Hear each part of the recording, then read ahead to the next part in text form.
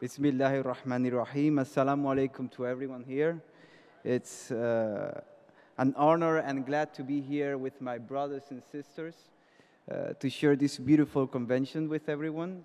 And uh, I'm going to share my story in short on how I converted to Islam and how I discovered Islam within myself, right? So, one of the challenges we face today as Muslims and non Muslims alike in the world, especially in my country, is how to live a life that carries on a spiritual journey or how to be a spiritual person in a country where there is practically no religion at all, right?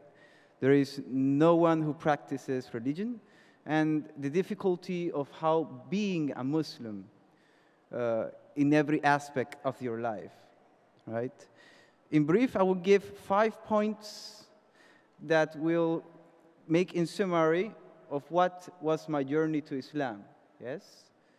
And I will begin with the first point, which was, which it was the depth of a life that, has, that had no meaning, and the beginning of a journey into a spiritual life which led to Islam in the end.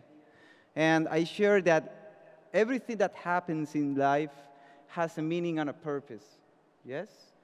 Meaning that when I right now meditate on my life and I look backwards into the problems and the situation I was facing at that time, uh, it's impossible for it to be a coincidence.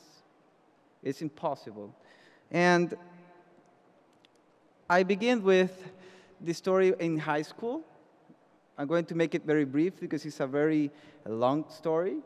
And it all began when I actually began to meditate and think about the future of my life, be it because I was in a country where actually the future is not being sought of, right?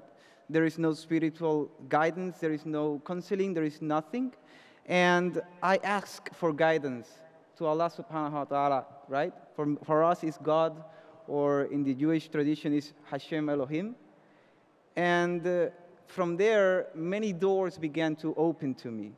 I began to go, I began to, to go to university because the opportunity got opened, even though many, for me, many opportunities were closed, right? Because of my situation, the economic status that I had at that moment. And then when I, for the second point, when I entered the university, I began to, to become very interested in religion because there was a, a, a, moment where a woman who was practicing yoga and was a Buddhist uh, introduced us to what it was spirituality, uh, the practice of yoga, and everything else that had to do with that field. And uh, the impact that it had on me to be a kind person, a truthful person, just, and to practice peace, which is something that Buddhism has, was very interesting to me right? And from there on, I was 20 years old when that happened. I am now 26. And from there, I had a journey of six years before Islam, right? So the third point, which was the ignition of change within and outwardly through religion, yes, and many religions itself. I began to study many religions at the same time Hinduism, Buddhism, Taoism. There is also the mix of philosophy, poetry, and everything that had what we say the liberal arts, right? Even though I was studying engineering. so that actually paved the way because I was looking for something that was resonating within myself and with what I was seeking. Meaning, I was trying to be in tune with what I was feeling and also with what was the truth outside of me, which mean, meant the religion that I was going to choose, which was a major preoccupation for myself. So I came back again to my original religion, which was Judaism. It's the religion I was raised on. So after that, it all became a very serious and spiritual life. I was able to develop willpower a strong mind, and I was able to, to ignore many of the things of the world that entertain the mind and keep you away from uh, dedicating yourself to a successful life in both aspects, in this life and in the hereafter, which Islam also has that point of view in, inside the religion. So, in the fourth uh, point, I'm going to, to, to summarize what actually made me know Islam. So, one day, because I had this habit of taking, actually waking up very early and studying until like 6 p.m., doing everything of the day. And then after 6 p.m., I used to go to, to my computer and gather books or have a schedule of my religious studies. So it was more of a personal journey into this. So I have this habit still of looking at Hubble telescope's images. Yeah, right? So I began to, to, to search online, and one day I was seeking quotes from Rumi. He's a poet from the Persian, uh, Persian language, very beautiful poet. So, looking at that, I saw an image that had one of the rose petal petals nebulae behind, and in the front it had the first introduction to the verses, uh, which is Bismillahir Rahmanir Rahim, and downward it had the, the translation in English. And when I actually read it in English in the name of Allah, but I pronounced Allah, I went blank. You know, I completely, like my heart emptied out. Everything began to become very, I resonated with it. Everything began to be calm and like desires went away and my ambitions and everything else was flushed away when I pronounced Allah.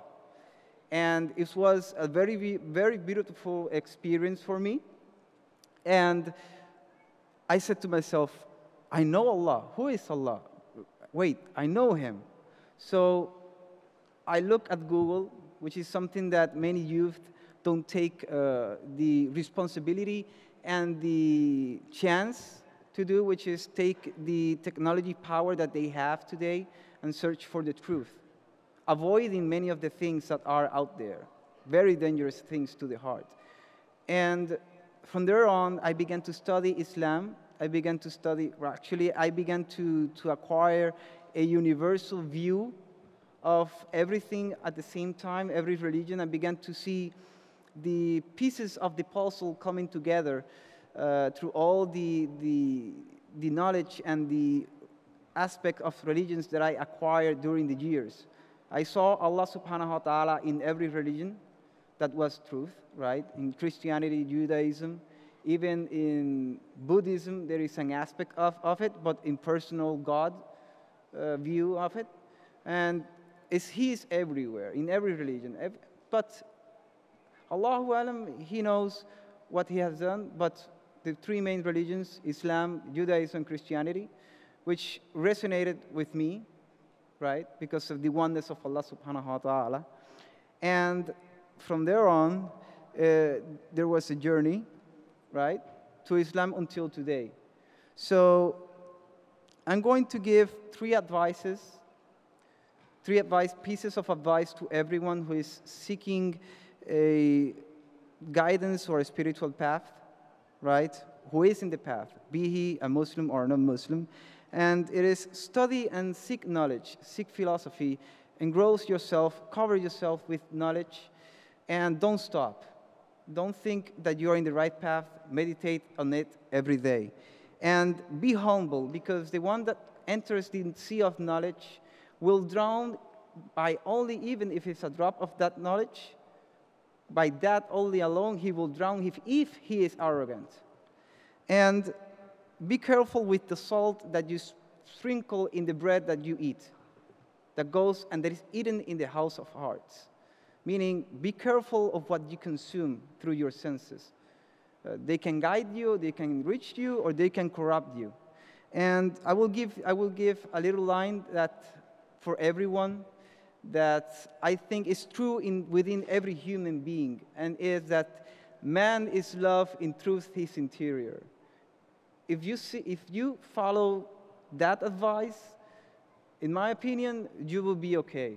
And always ask for guidance and believe in Allah subhanahu wa ta'ala, forget fear, uh, pronounce His name alone, and inshallah ta'ala, non Muslims and Muslims, inshallah, one day will acquire, acquire victory in the world. Amen.